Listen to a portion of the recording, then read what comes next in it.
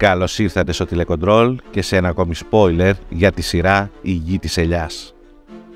Όπως θα δούμε στα νέα επεισόδια της σειράς, η Μυρτάλη αρχίζει να αλλάζει χαρακτήρα, σαν να της γύρισαν ξαφνικά ένα κουμπί και να έβαλε μια τελεία στην αλλοπρόσαλη συμπεριφορά της.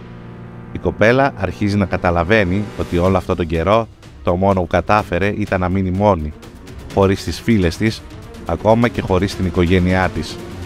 Μόνο με τον Αλέξη στο πλευρό της, ο οποίος ήδη της έχει αποκαλύψει πόσο αδίστακτος είναι.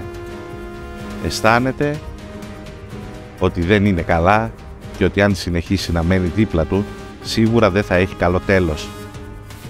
Τον μόνο άνθρωπο που εμπιστεύεται μέχρι στιγμής και αγαπάει είναι η Μαρίνα. Έστω και αν έχουν απομακρυνθεί, τα αισθήματά της για εκείνη δεν έχουν αλλάξει. Έτσι, σε μια στιγμή αδυναμίας, η Μυρτάλη ανοίγεται στη Μαρίνα και της δείχνει πως πραγματικά αισθάνεται τον τελευταίο καιρό. «Είμαι σαν χαμένη. Δεν αναγνωρίζω τον εαυτό μου, Μαρίνα. Δεν ήμουν εγώ έτσι και το ξέρεις. Είχες δίκιο που έλεγες ότι δεν με αναγνώριζες. Ούτε κι εγώ αναγνώριζα τον εαυτό μου. Χάθηκα μέσα στο μίσος και την ανάγκη να παριστάνω κάποια που δεν είμαι. Να κάνω τη σκληρή και την αδίστακτη. Της εμπιστεύεται. Στο μεταξύ, ο Αλέξης πιέζει την Μυρτάλη να προχωρήσουν για την επένδυση που σχεδιάζουν.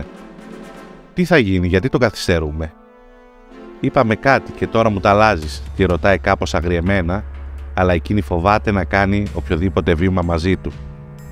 Το μόνο που θέλει είναι να απαλλαγεί και να αλλάξει η ζωή. Αλλά αυτή τη φορά ξέρει ότι δεν είναι απλό.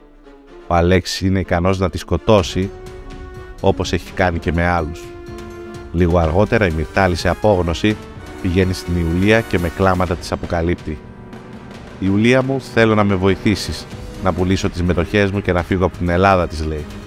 Η Ιουλία τρομάζει όπως τη βλέπει. «Μυρτάλη, τι έγινε, θέλεις να μου πεις τι σου συμβαίνει και θέλεις να φύγεις στο εξωτερικό», τη ρωτάει.